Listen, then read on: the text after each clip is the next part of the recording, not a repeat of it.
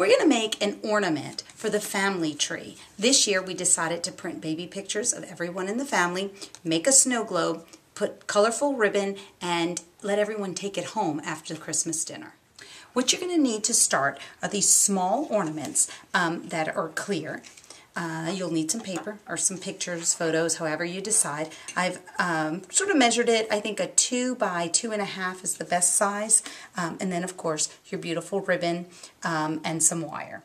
If you decide you want to put some glitter, then you'll need some glitter, and you'll need sort of a little funnel, but a little business card works just as well. You can dump the glitter inside of the ornament. Okay, first thing you're going to do is take your photo.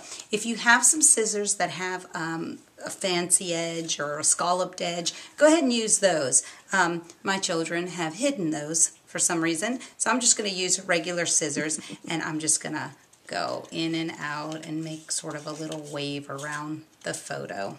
That'll work. Once it sits inside that globe, you really can't tell the difference. But start with that. Okay, so you're going to take your photo and you're going to roll it. Now keep in mind, this will be the tricky part. You'll insert that inside the globe. Now, of course, it's going to wiggle around. What I find works best is if you use a pencil you sort of roll it around trying to get it to pop backwards and then forward. Tweezers work as well.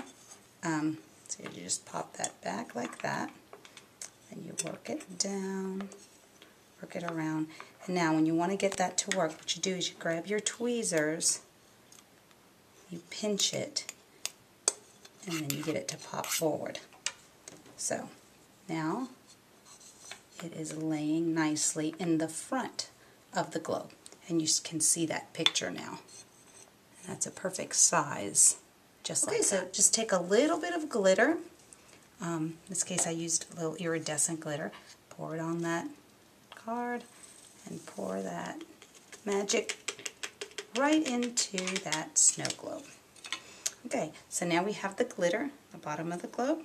We take the top pop it right back on and we are ready to attach our ribbon. Okay, so we have 23 coming for dinner this year, so I decided to go ahead and do a little prep work early so that way I um, could get these ornaments done a little quicker.